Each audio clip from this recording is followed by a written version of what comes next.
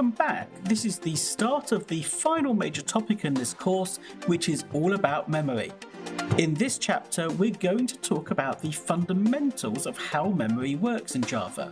This may feel a little bit academic, but we need to get a good grounding in some of the basic concepts, as that's going to be crucial to understand how garbage collection works, and we certainly need this knowledge also before we can look at tuning the virtual machine. So in this chapter we're going to cover what the stack and the heap are and how they work together to provide the memory that our applications use. We'll understand how variable scope actually works, how is it that variables declared in one method are only visible in that method, and we'll finish the chapter with a basic scenario. We'll consider how variables that we pass from one method to another are managed in memory. We won't be writing any code in this chapter, so you can sit back and I hope enjoy the video.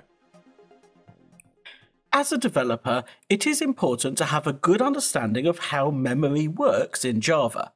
This knowledge is going to be useful both to help optimize applications that you write and it can help you avoid creating problems in your code that will be very difficult to trace. Before we start learning about how memory works, I do need to say that the Java virtual machine is incredibly complicated, and as a Java developer, we don't need to understand exactly how it operates. Instead, we'll learn about different aspects of how memory is managed in a simplified format. We'll present the structures and relationships between different parts of Java's memory visually in a way which will hopefully be easy to understand.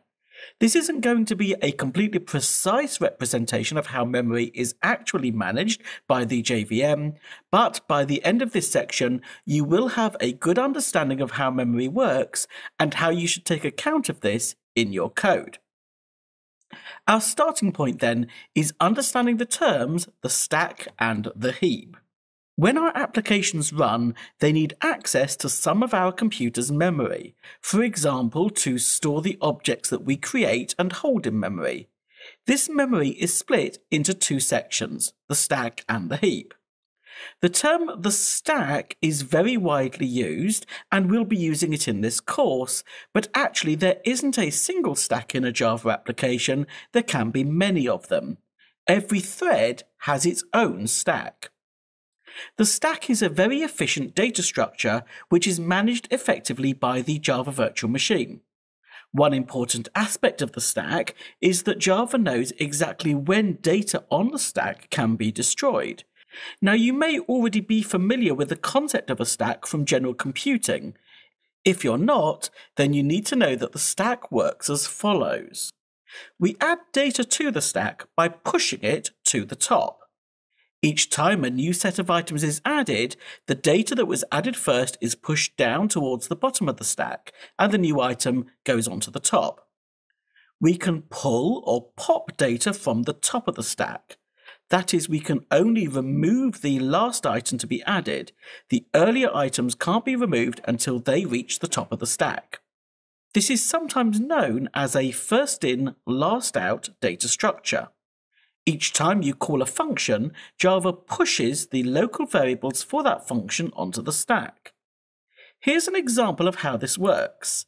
We've got a simple program here, which we're going to run through line by line, and we'll look at the state of the stack after each line.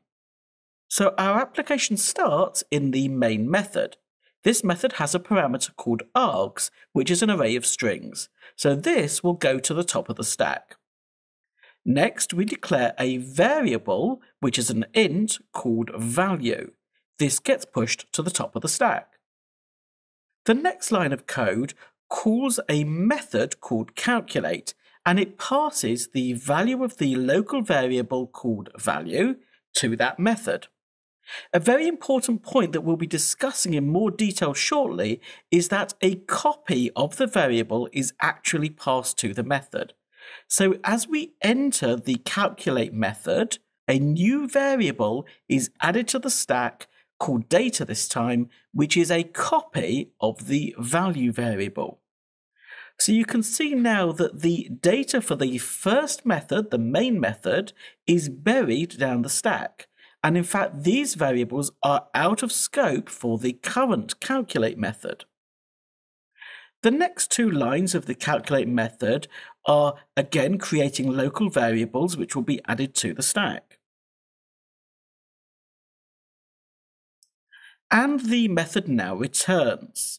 So when the method returns, all the data created on the stack for that method is popped or pulled from the stack. This is really easy for Java to do. It's a fast and efficient operation, and that means that we've restored the stack to exactly the same state as it was in before the method was called. But as we're back now in the main method, remember that this line of code asks Java to reassign the value of the variable with whatever was returned from the method. So the value changes to the return of 20.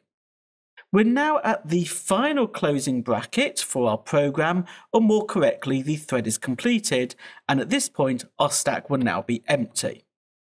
Whenever you reach a closing curly bracket, any local variables that you declared inside the block that you're leaving is popped off the stack and destroyed. It's not just when you return from a method that the stack is popped, it's every time you exit a code block or reach a final curly bracket. And that is how scoping works. So in Java, all local variables are created on the stack and they are automatically popped from the stack when you reach the close of the block that created that variable. This all happens within the Java virtual machine, and as a programmer, we don't necessarily care that Java is using a stack. The developers of the JVM could have used a different data structure, but knowing that a stack is used helps us understand how variable scope really works. Remember also that each thread has its own stack, so data on the stack can only be seen by the thread that owns the stack. So the stack is a tightly managed data structure, and Java can maintain very tight scoping rules with a stack. Stacks are great for local variables because by definition we want a local variable to have a short lifetime. The second area of Java's memory is called the heap. The heap allows us to store data that has a longer lifetime than a single code block or function, for example, objects that need to be shared across multiple methods. You can think of the heap as being a huge area for storing data. Actually, you can think of the heap as being all of the memory for your application except for the data on the stacks. In an application, there is one heap which is shared across all the threads and a number of stacks, one for each thread.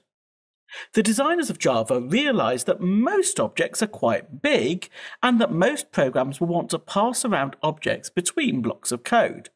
By placing objects on the heap, this makes it easy to pass them around. All the threads, and in fact all code blocks in our application, can potentially access the heap. The important point here is that in Java, all objects are stored on the heap. So the stack is used for local primitive variables such as ints and doubles, but all objects such as strings, customers, or integer objects will be stored on the heap. For the objects on the heap, there'll be a pointer to the object, which is the variable reference stored on the stack. For example, suppose we have two lines of code within a method, one that creates an int called age and one that creates a string called name. Well, this first line of code creates a variable on the stack called age and it has its value of 21. Because it's a local variable, which is a primitive, it's completely contained on the stack. The string, however, is an object rather than a primitive, so this is created on the heap a variable is created on the stack which points to this heap object. Let's have a look at a more complicated object. Here's some code that creates a list of strings, and then we pass that list from one method to a second method. In the main method, we're creating the myList object as a list of string objects. So when the main method runs and this list object is created, there'll be a reference to the object or a pointer to it created on the stack, but the object itself will be created on the heap. The mylist variable on the stack will contain the memory address of the part of the heap that contains the list object. So the rules for how variables are stored in memory in Java are as follows. Objects are stored physically on the heap. The variable holding the object is just a reference to that object. And the reference, if it's held as a local variable, will be stored on the stack. Primitives are entirely local variables. There are no objects for these to reference, so these live entirely on the stack. Now, this at first might feel quite complicated, but it's worth understanding these rules because the whole of Java's memory model is built upon this. Let's now run line by line through our list program and we'll visualize what the memory looks like. At the start of the program, we have an empty stack and heap. Now, I know that the main method contains a parameter which is an array of strings called args, and this will be the first item on the stack. But to keep this picture clear, I'm going to ignore that one. If I was going to be complete, I would have a box on my stack called args. Note that the boxes I've got on screen for the stack and heap are not representative of their actual sizes. In reality, the heap is a massive amount of storage space compared to the stack. But let's now run through and work out what gets created on the stack and heap as each line of our program runs. So the first line of code is going to create the list object. The new keyword in this line means find some free space on the heap large enough to store this object, and we'll reference this new object from the local variable called mylist. So I'm creating on screen here a box within the heap to represent the data for this object, the list, and a box on the stack called mylist, which is the variable that contains the memory address of where in the heap this object lives. In Java, you can't view this address or have any access to it. Now let's look at the next line of code. This line is adding a string to our list. Now a string, of course, is an object in Java, so Java will need to create this string object. We can actually think of this line of code as being the same as adding a new string with a value of 1. When we think of it this way, we can see that there's a new keyword in this line. So that means Java needs to find some space on the heap large enough to store the string object. So Java will create an object on the heap of type string with a value of 1, and this will be referenced from within our list. By calling the add method, we add the reference to the string object to our list object. Note that there's nothing created on the stack for this string. We don't have a local variable reference. The reference is only in the list object. If we think about the code that we can write, we can't call the string object that we've created directly. We haven't given it a variable name. We can only access the string through the list object, and this is represented by the stack and heap diagram that we can see here. In code, we can only reference the local variables that are on the stack, and the string that we've created is not reachable directly from the stack.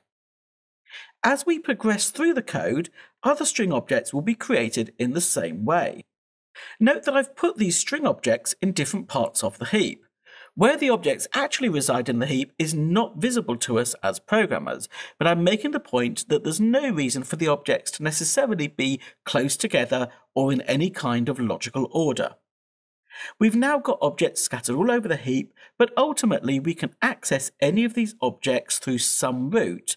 As coders, we can only access their reference in the stack, but we could get to, for example, the second string object by calling mylist dot get, and then the item in position 1. Let's advance now to the line which calls the printlist method. The declaration of this method is public void printlist, and then we pass into the method the list of strings and we call it data. So when we're in printlist, the stack will now look like this. A new local variable is created called data, and this variable points to the same object as the mylist variable. It's a copy of the mylist variable, and the reference for mylist is copied into data. Because we're now in the printlist method, the mylist variable is now, however, out of scope. We can't access it. Let's now expand the second method to do something more interesting. So here's a new version of print list, and before the first line runs, the heap and the stack are just as we can see on screen here. What will it look like, however, after this first line runs? Well, the get method of the ArrayList class is going to return a reference to the object that we want. As we're storing this in a local variable called value, this means a new reference on our stack will be created. Now I'm using different coloured arrows in this diagram here. That's purely to make it clear which box on the stack points to which box on the heap. There is no significance between the colours that you're seeing on screen. So note at this point that the object with the value 2 is now referenced from two different places. It's referenced in the list as the item in position 1 and it's referenced from the stack as the variable with the name value. The next line of code will create another object on the heap, and that I hope will be quite straightforward. And then we return from the print list method. As we're reaching a closing bracket, this means that the value and data variables that were created within this method are going to be popped off the stack. So some of the references are also going to be lost and also the mylist variable is now back in scope. The significant thing here is that the first method is going to see the modified list. It's got the extra item in it, the item with a value of 4. Remember that the second method was working on a copy of the reference to the list, but not a copy of the actual list object itself. So now we should have a reasonably good understanding of how memory works in Java. Objects that we create live on the heap, with local variables referencing those objects on the stack. As we add new variables, the existing ones are pushed down the stack and the new variables go to the top. We learned how variable scope works. As we enter a method, the current variables on the stack go out of scope and are pushed down the stack, and the variables for the current method are added to the top of the stack. When we exit a method, the variables that live within the method are then popped off the stack, and the variables further down get moved up and come back into scope. And we talked through a basic scenario where we pass a variable into a method. It's a copy of the reference to any object that's actually passed. Having a good understanding of these concepts is going to be really important when we get to talking about garbage collection and tuning the virtual machine. But don't worry if this still feels a little bit academic, we're going to be looking further at how the stack and heap work in the next few chapters, and it will become practical quite soon.